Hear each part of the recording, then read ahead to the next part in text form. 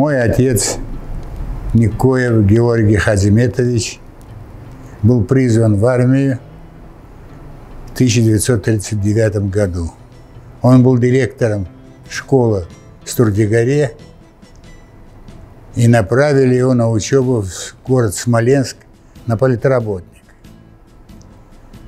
Он был в этой школе до конца почти 40 -го года, а в 40 в конце 40 -го года наши войска вошли в Прибалтику и направили его туда.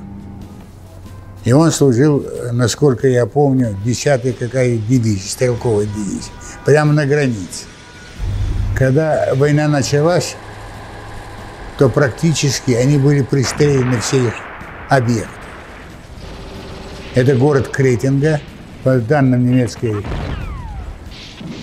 разведки, значит, они должны были город Кретинга взять за 20 минут. Бои происходили, страшные потери, очень сильные.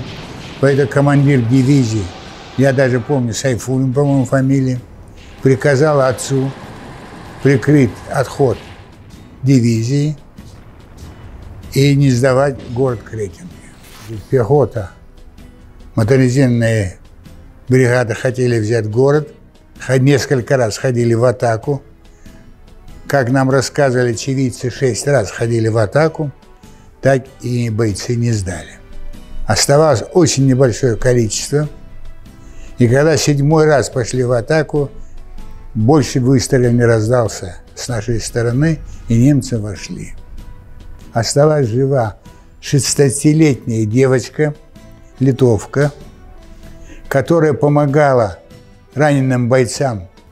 Вот она и э, сохранилась и рассказала все это дело. Еще остались 9 человек, насколько я помню, я их видел всех, которые впервые часы боя получили очень серьезные повреждения и успели их эвакуировать. Мы не знали, что с отцом но получили бумагу о том, что отец пропал без вести. Так и числилось, мы много писали, мать, и всегда приходили такие ответы.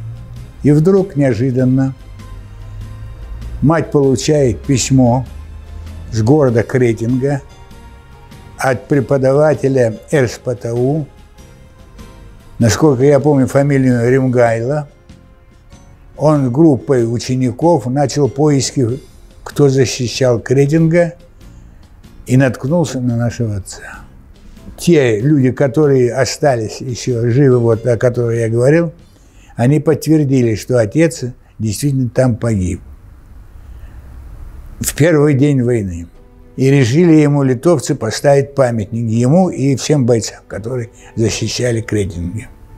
Они нас пригласили, это был 82 год – и мы все собрались туда, в городе Кретинга, на открытие этого памятника.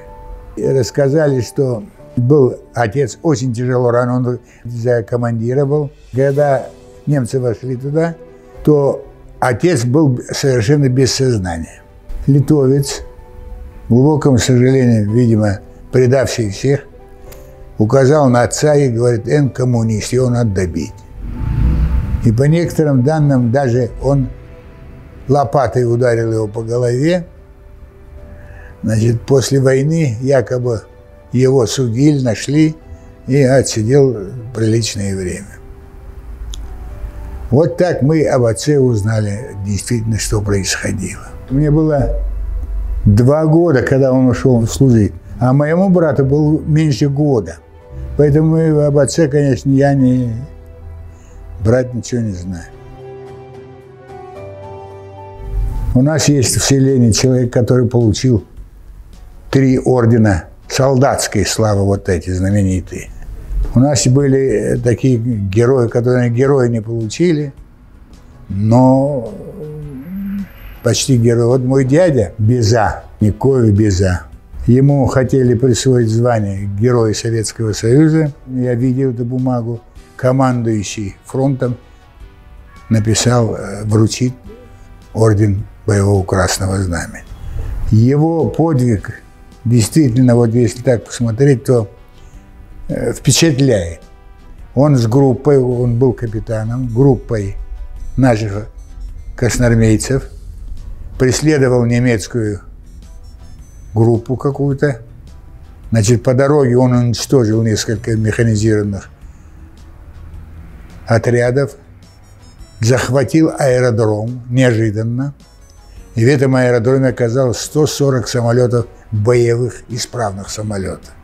Такого во время войны никто не совершал.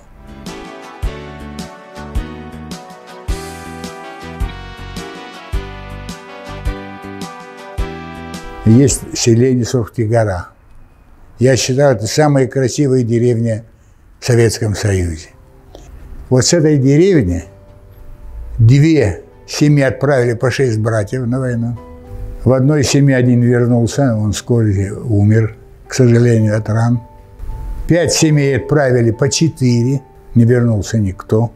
Где-то 60% ушедших на войну не вернулись в нашей деревне. Деревня потеряла очень много людей, молодых.